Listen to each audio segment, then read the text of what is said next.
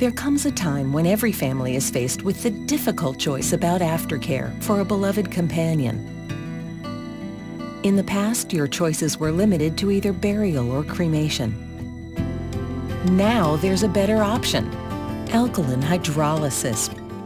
Referred to in practice by several names such as aquamation, is the gentle, more responsible alternative that allows you to honor the loss of your companion without harming the environment.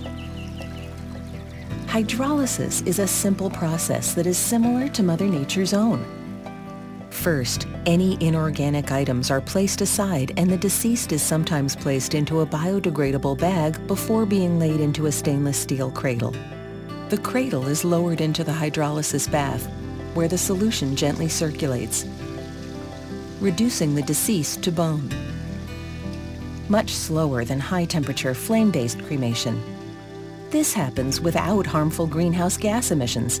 In fact, hydrolysis produces no significant gaseous emissions, making this the ideal choice even when compared to burial which produces methane. Following hydrolysis, the family has the option to receive back an urn containing the same bone remains they would from flame-based cremation. However, because hydrolysis doesn't burn off some of the bone, they actually receive back more of only their beloved pet's remains, on average a 20% increase. Simply, this is the most environmentally responsible choice for aftercare and gives you back more of your pet's remains than any other aftercare option.